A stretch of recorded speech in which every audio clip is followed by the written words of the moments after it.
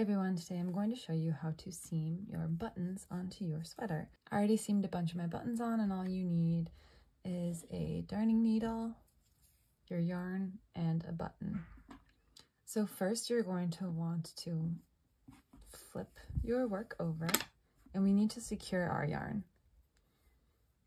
And if you're not sure how to even get your yarn through your needle, because this needle is pretty thin, because my buttonhole's thin, you want to fold your yarn over and just insert it into the little space there and pull it through. All right, and now we're going to want to secure our yarn very close to where our button's going to be on the other side. And to do that, we're just going to first put our needle into a stitch, pull it through, and you're gonna leave a little end right there for seaming later. Then we're going to go through that stitch again, pull it through. We're not done here because if you do this, if you pull hard, um, this little end can come through. So again, we're going to insert our needle into that same stitch. We're going to keep pulling and you're going to have this little loop here. Insert your needle back in to that little hoop and pull through. And we created a knot.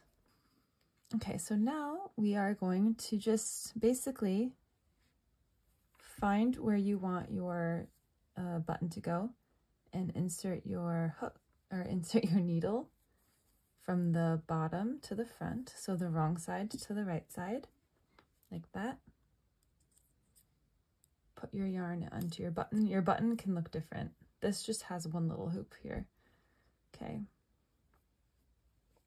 And then now once your yarn is through your button, you're going to put your needle from the right side of your work to the wrong side and pull, pull it through.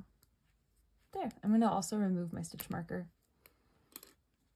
Okay, and then you just are going to want to do the same thing. So you're going to insert from the wrong side to the right side. Oop, mine's a little far away put it into your button, pull it through, insert from the right side to the wrong side.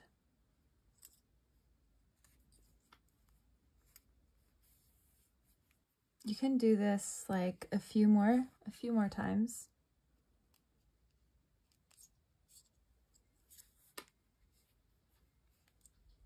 Just like this.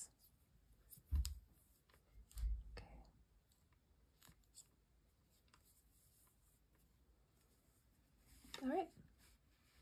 My button's pretty secure. You can do that as many times as you want, um, and you can test it by like pulling on your button. My button feels rather secure. So now this is how I like to end my button seaming. You can just, you know, seam your yarn along the back however you want. You can sew it in a few times, like so. And then I like to knot my yarn a few times don't pull too hard for the first knot and the second knot because you can actually scrunch up your yarn. So on my third knot, I'm going to pull it really tight. Okay, you can seam in your ends here. I like to do that and maybe knot once more. As you can see, I've knotted this button, this button, and I'm going to seam in these ends and then maybe knot them once more.